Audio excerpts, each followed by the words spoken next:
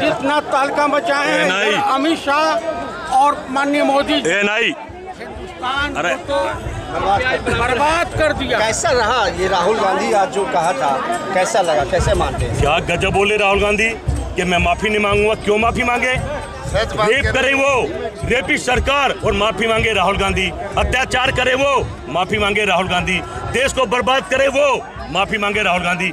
गजब नेता हमारा। सच्चाई के रास्ते पे चलता है। एक संदेश है झुकना नहीं है डरना नहीं है और झूठों को छोड़ना नहीं है। ये है राहुल गांधी। हम पीछे हटने वाले नहीं है। हम पीछे हटने कानून बन गया। ये मोदी सरकार अपनी तमाम विफलताओं को नाकामियों को छुपाने के लिए पर्दा डालने का काम किया। बात हमारे देश के लोगों रोज़गार की। बात नहीं होती। कहाँ गया?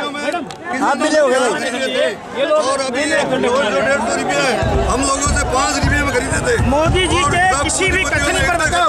मोदी जी कहते थे मित्रों भाइयों बहनों प्याज प्याज इतना महँगा हो गया। क्या करेगा देंगे आप मोदी? किसकी लड़कियों की इज़्ज़त बचाएगा? खुद ही ना अपनी देह छोड़ रखी उसका क्या कर किसानों के लिए तो कुछ किसानों के लिए कुछ नहीं करता। किसानों के लिए कुछ नहीं करता। ये ये लगाते थे दूसरी पार्टी ने सुनो भाई अफवाह फैला। जितना तहलका मचाए ए, नहीं। हैं अमित शाह और माननीय मोदी जी। नहीं हिंदुस्तान अरे। तो बर्बाद कर दिया। कैसा रहा ये राहुल गांधी आज जो कहा था? कैसा लगा? कैसे मानते हैं? क्या गजब बोले राहुल गांधी कि मैं माफ़ी नहीं मांगूँगा? क्यों माफ़ी मांगे? रेप करे वो रेपी सरकार और माफ़ी मांगे राहुल गांधी। अत्याचार करे वो माफ़ी मांगे राहुल गांधी। देश को बर्बाद करे वो माफ़ी मांगे राहुल गांधी।